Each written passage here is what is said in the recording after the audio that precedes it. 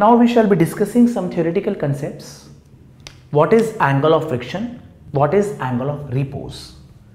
So the third topic is angle of friction and angle of repose. Angle of friction and angle of repose. R E P O S E repose. First of all, we'll discuss what is angle of friction. Angle of friction. Okay, there is a block.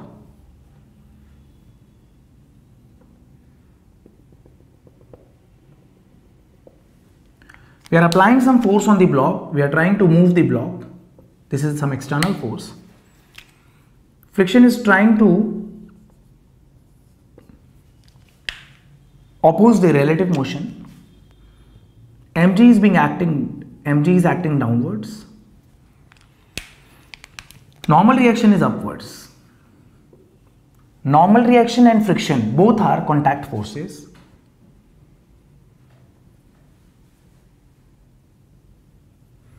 Let us draw the resultant of normal reaction and friction. This is the resultant of normal reaction and friction which is under root of n square plus f square. This angle lambda is called angle of friction. Angle of friction by definition is what? Angle of friction is the angle which resultant of normal reaction and friction makes with the normal reaction. It is easy. Angle of friction is the angle which resultant of normal reaction and friction makes with the normal reaction makes with the normal reaction tan lambda here becomes tan lambda equals to perpendicular which is f divided by a base also we know that friction is equal to mu times normal reaction. So friction divided by normal reaction is equal to mu tan lambda is f by n. Mu is also f by n. So tan lambda equals to mu. Lambda equals to tan inverse mu. Lambda is angle of friction we call lambda as angle of friction and mu as coefficient of friction right so what is angle of friction it is nothing angle of friction is nothing but angle which resultant of friction and normal reaction makes with the normal reaction.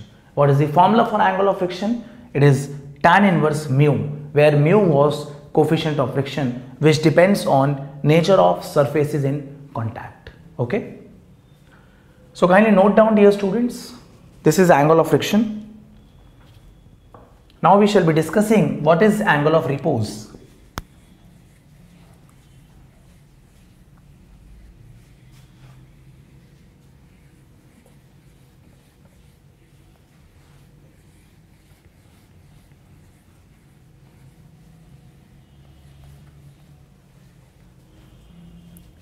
We have next topic angle of repose.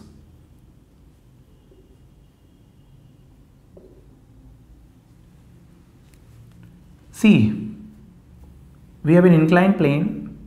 Suppose we can increase the inclination of the inclined plane. Suppose at theta 1 block does not slide.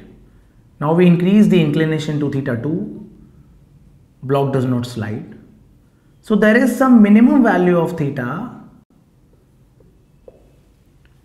after which body starts sliding or you can say there is some maximum value of theta for which body kept on the inclined plane does not slide. If theta is increased further, body starts sliding. That maximum inclination of the inclined plane with the horizontal up to which body kept on the inclined plane does not slide is called angle of repose. Okay. So what is angle of repose now?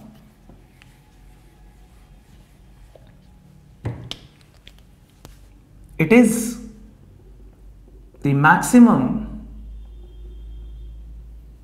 angle of inclination of inclined plane of an inclined plane with the horizontal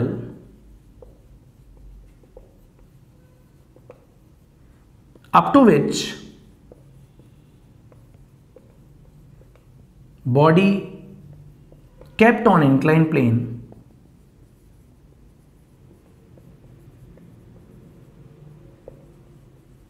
does not slide down or we can say is on the verge of sliding impending motion about to slide right? Now mathematically let us calculate what is the angle of repose. Let this angle be theta or let this angle be alpha where alpha is angle of repose. It is that inclination up to which block is not sliding. If alpha is increased by just 0.1 degree block starts sliding. That is the angle of repose. Block of mass m is kept on the inclined plane. mg is acting in the downward direction. This angle is alpha. This is mg cos alpha and this is obviously mg sin alpha. This is normal reaction. Normal reaction is mg cos alpha. Friction is acting towards left. It will try to oppose the relative motion block will be on the verge of sliding block will be on the verge of sliding about to slide if friction is equal to mg times sine alpha friction is mu times normal reaction that is equal to mg sine alpha mu mg cos alpha equals to mg sine alpha. Mg and mg get cancelled.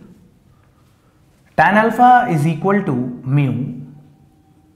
Alpha is angle of repose. So alpha is tan inverse mu. Surprisingly, we got the same formula for angle of friction and angle of repose. So angle of friction equals to angle of repose. Angle of friction equals to angle of repose. This is the case now. Angle of friction is equal to angle of repose. Surprisingly, we got the same formula for angle of friction as well as angle of repose. Kindly note down the uh, concept dear students.